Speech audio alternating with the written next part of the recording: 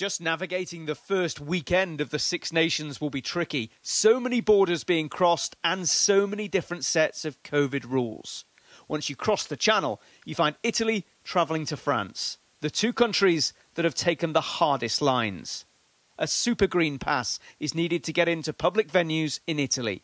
A vaccine pass is mandatory too in France. No exceptions, not even for those playing. Most of the squads are totally vaccinated but not England. Like I'm not a doctor. I don't. I don't. You know. I don't ask Tom. Show me your vaccination status. That's not part of the selection criteria. Um, so it's not something that concerns me. It's not something I'm in control of.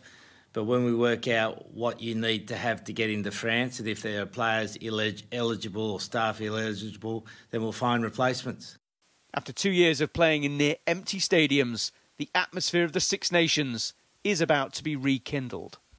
The last couple of years, not having the crowds in the venue has been pretty, pretty strange. Uh, but we are obviously living in strange times, and yeah, I think the best we can do is obviously being uh, conscious that uh, observing the observing these rules will we will help us going out of this current situation then I think it's going to be it's going to be an awesome Six Nations.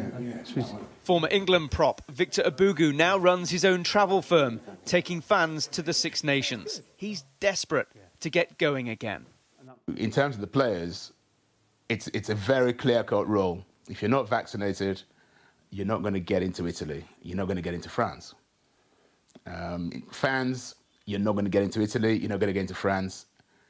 So you have to get vaccinated if you want to go to those places. If you choose not to be vaccinated, then it's a non-starter.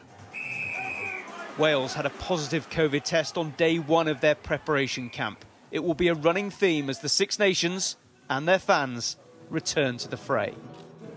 Tom Parmenter, Sky News.